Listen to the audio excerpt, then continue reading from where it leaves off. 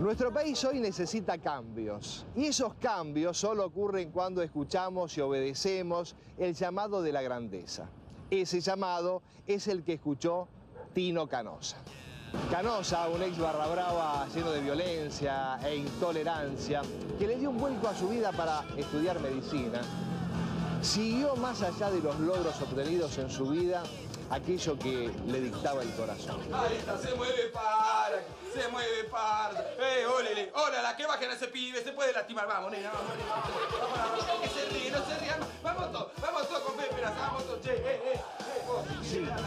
Tino Canosa, aquel fanático, enfermo y lleno de ira futbolística, hoy es maestro jardinero.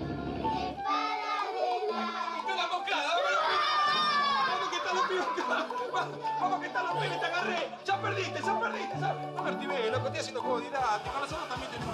Fuerza, honestidad, constancia y por supuesto ganas. Eso es lo que tuvo Tino Canosa para hacer hoy una vida ejemplar. Sin hacer bondi, todos juntitos, todos juntitos. La palma, vamos, apláudanse, apláudanse. Bueno, nos saludamos como todos los días. Hasta mañana, chicos. ¡Hasta mañana, señor Canosa! Bien, vamos saliendo de uno que ya están sus padres. Vamos, eh. Morrón, no me